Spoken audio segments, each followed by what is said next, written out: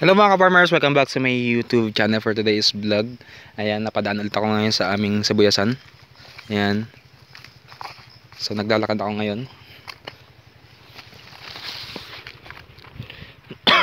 so ito mga ka-farmers ay 25 days na ngayon mula pagka-transplant. So ganyan na siya. Ayan. So naka-isang patubig pa lang kami dito and then isang paabuno. Ayan. Hindi pa namin to napapaabunuhan ulit at hindi pa nakapatubigan ng pangalawa. Yan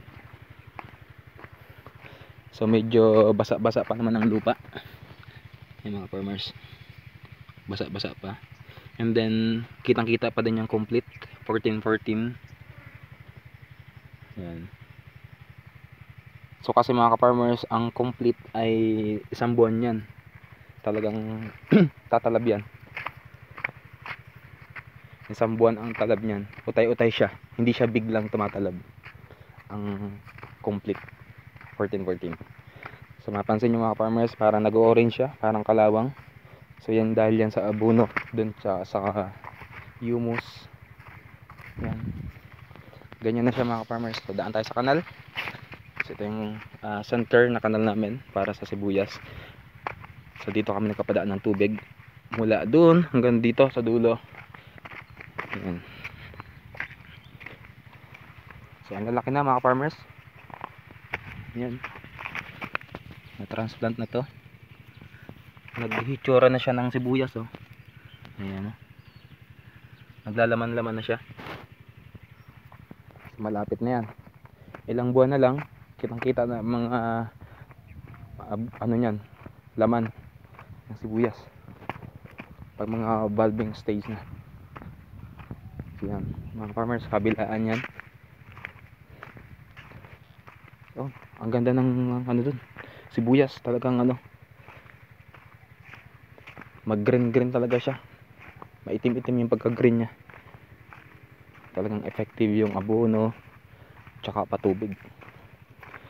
So advice ko lang mga ka-farmers sa inyo kapag kayo nagpatubig ng sibuyas ay ano lang parang kontrolin mo lang di baling ako lang sa tubig wag lang sobra sa tubig. So yan yung tandaan nyo mga farmers. Kasi mamatay ang inyong sibuyas kapag nasobrahan kayo sa tubig. Kailangan marunong kayo mag control kapag maraming tubig ipa-exit nyo release nyo. So halimbawa pinuno nyo isang pilapel so dapat din nyo mapatagalin yan. Huwag nyo papaabutin ng ilang araw na may tubig yan. At sure ako patay ang inyong sibuyas. O doon sa may part na no, ang ganda ng sibuyas. Malaman-laman. Malaman ang lupa doon. Kaso kahit dito sa buhanginan, maganda ang sibuyas. So mga farmers, ito yung pinag ano namin, pinag uh, namin. Oh, ito yung huling tinanim dahil ito yung pinag uh, taniman namin ng punla. Pero nahahabol na siya doon sa unang tanim. Okay. Sa panglimang araw na pagtatanim to, pero nahabol din siya. Oh yan yung pinagpunlaan so ang ganda mga farmers. So abangan nyo mga farmers yung mga vlogs pa natin dito.